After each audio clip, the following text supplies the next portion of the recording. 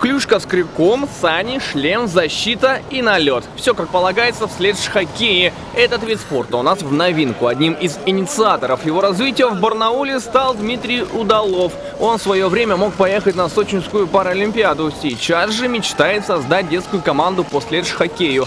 Его идею поддержала Федерация адаптивного хоккея страны. В итоге сборы для ребят и открытые тренировки для привлечения народа. Я так посмотрел, ну, где был. Очень хорошо, что это очень помогает детишкам э, реабилитироваться, во-первых. Как-то, э, допустим, для основных форм инвалидности, для ДЦП это очень хорошо и спину, и плечи, и координацию развивать.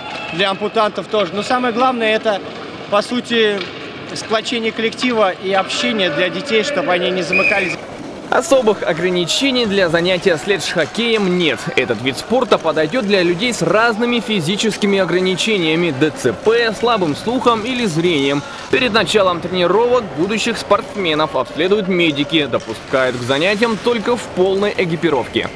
Сейчас важно понять обратную связь от наших ребят, интересно им это, вот, хотят ли глубоко этим заниматься. Первоначально это грантовая поддержка, а дальше уже садимся за круглый стол, привлекаем людей вот, и развиваем команду дальше. Но опять же, понимаем, что это дело непростое.